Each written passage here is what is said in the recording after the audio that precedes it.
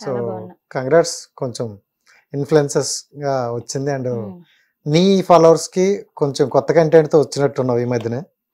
కొత్తది ఏం రాదు అది నేను ప్రీవియస్ గానే చేస్తుండే కానీ అప్పుడు నాకు అంత టైం లేకపోతుండే కాలేజ్ వర్క్స్ వల్ల. సో. ఇప్పుడు నేను కాలేజ్ అయిపోయింది నేను ఖాళీగా ఉండడం వల్ల ఖాళీగా ఉన్నారా?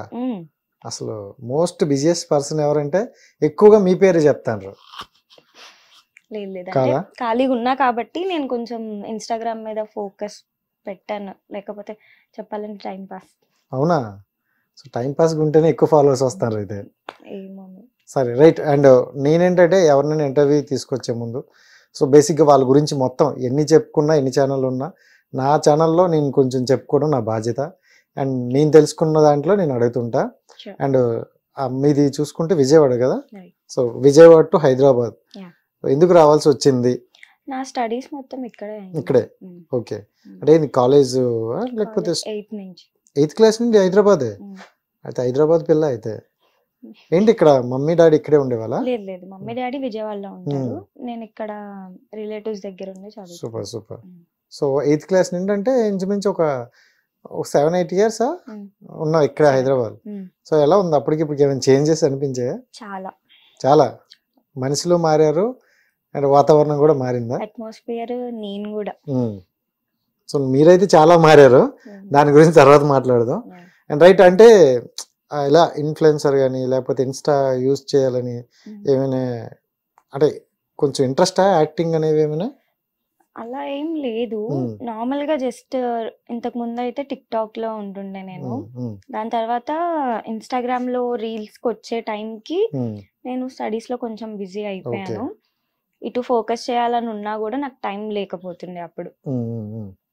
సో లైట్ తీసుకున్నాను అండ్ అలా లైట్ తీసుకోవడం వల్ల ఇంట్రెస్ట్ కూడా పోయింది. బ్యాక్ ఇప్పుడు- ఫ్రంట్ బెంచా? మిడిల్. ఓకే మిడిల్లోనే ఉండాలి ఎందుకంటే బ్యాక్ సైడ్ వాళ్ళు కొంచెం మీలాంటి వాళ్ళు కాపీ పెడతారు. ఉండకూడదు ఫ్రంట్ ఉండకూడదు. ఓకే సేఫ్లో ఉండాలి అంతేనా. సో డైరెక్ట్ పాయింట్లోకి వచ్చేద్దాం. ఒక వన్ మంత్ క్రితం చూసుకుంటే యూట్యూబ్లో ఎక్కడ చూసిన మీరే కనిపించారు ఎక్కువగా.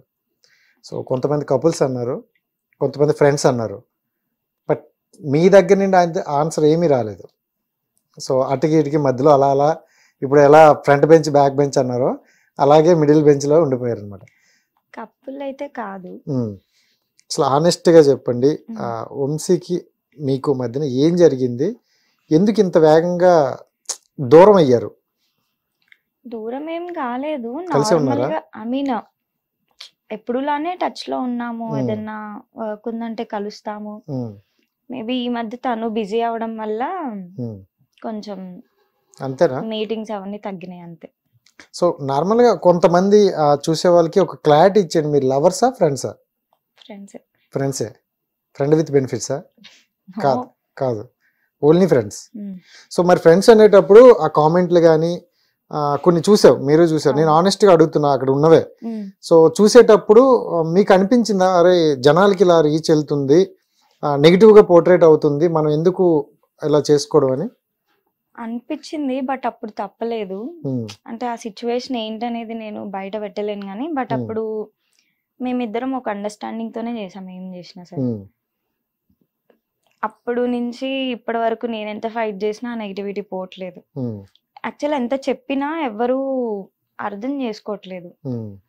ఫస్ట్ ఏదైతే చూసారో దానికే ఫిక్స్ అయిపోయి ఇంకా ఆ zone లోనే ఉండిపోయారు కానీ తనంతటికి తను నోరు తెరిచి చెప్పినా నేను చెప్పినా కూడా తీసుకోవట్లేదు. బట్ మరి ఇప్పుడు ఎందుకో నీలో ఒక పెయిన్ నాకు కనిపిస్తుంది. సో ఎందుకు అంత బరువు ఒకసారి గుండెల్లో ఉన్నట్టుంది? ఏదైనా ఉంటే బయటికి చెప్పాయి ఉహుం, అట్లేం లేదు. తను తన వర్క్స్ చేసుకుంటున్నాడు నేను నా వర్క్స్ చూసుకుంటున్నాను. ఓకే. ఎవరిని మిస్ అవుతున్నట్టు అనిపిస్తుందా? కాదా? నిజంగా అవ్వట్లేదా? సో ఇప్పుడేం లేవా? అంటే మీ మధ్యన ఎలాంటి రిలేషన్షిప్ లేదా? అప్పుడు బాగానే ఉన్నాం ఇప్పుడు బాగానే ఉన్నాము. కాకపోతే తను కొంచెం బిజీ అయ్యాడు. అంతే. So okay. ఒక సాంగ్. ఒక సాంగ్ వల్ల నీ కెరియర్ స్పాయిల్ అయింది అనుకోవచ్చా బిల్ అయింది అనుకోవచ్చా అంటే ఓన్లీ సాంగ్ వైజ్ చూసుకుంటే మాత్రం ఉమ్, I was so happy. And Hmm. ఖచ్చితంగా పాజిటివ్ గానే రెస్పాండ్ అవుతాను ఓకే.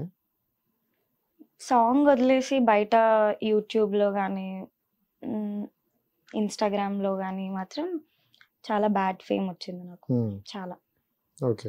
సాంగ్ అది నేను రీజన్ కాదని అందరికి తెలిసి కూడా వాళ్ళు మెంటల్గా ఫిక్స్ అయిపోయారు. ఐ డోంట్ నో లైక్ ఎలా అంటే నా వల్లే తనకి అట్లా అయింది ఆపోజిట్ ఉన్న అమ్మాయికి అని వాళ్ళు అలా ఫిక్స్ అయిపోయారు అది ఎవ్వరు నోరు తెరిచి చెప్పినా కూడా యాక్సెప్ట్ చేయట్లేదు ఎందుకు నాకు తెలియదు ఉమ్. అంటే మీరు చెప్పారు నేను చెప్పాను. వంశీ చెప్పాడు. ఈవెన్ తను చెప్పింది.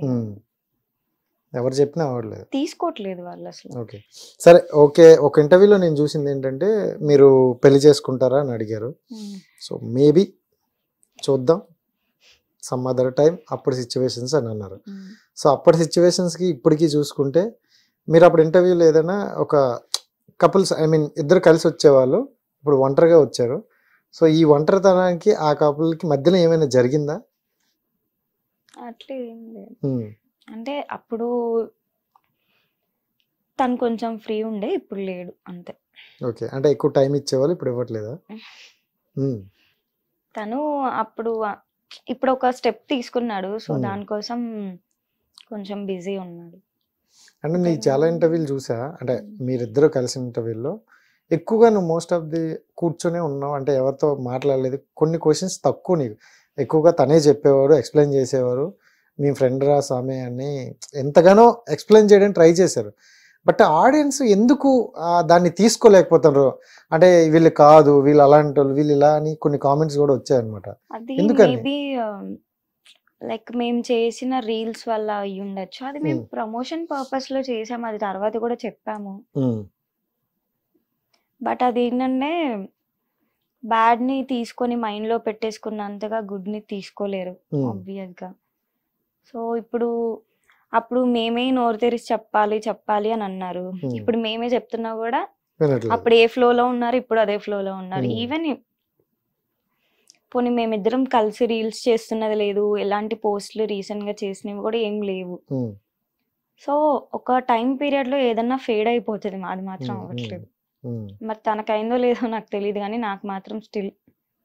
రాడ్ అలానే ఉంది. అంటే జనరల్గా ఒక అమ్మాయి అంటే అమ్మాయి విధంగా మాట్లాడుకుంటే ఎంత సొసైటీలో నీట్గా ఉన్నా.